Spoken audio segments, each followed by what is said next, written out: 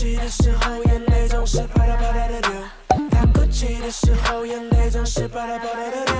他哭泣的时候，眼泪总是啪嗒啪嗒的流。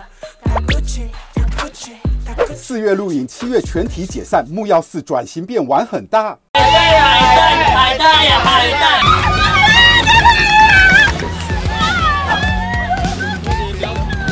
是木曜四超玩日前播出，巴厘岛一个屋檐下引起街谈相议，阳光、沙滩、海浪，没有仙人掌和老船长，但有 Kid，有比基尼美女，有猛男担当，以为转错台，不难联想。可以吗？可以最难的，最难的，先生。Of course, no problem. 哎，有 Kid，有比基尼美女，有阳光、沙滩、海浪，有猛男担当，是转型成木曜四综艺超玩很大吗？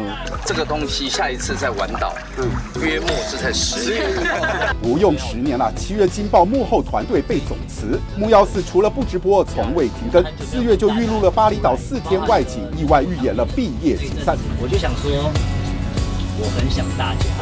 因为主持班底瓶子要推出，制作单位安排艺人与剧组人员两两温情告白，谁知道？在不知不。幕后人员与女星互相争执，感性喊话，弄哭彼此，莫名预言了全体毕业的气氛呐、更耐人寻味的是，节目有一幕班底往身后看，有人说出风云变色，后设的立场来说，简直是伏笔彩蛋呐、三立娱乐新闻。报道。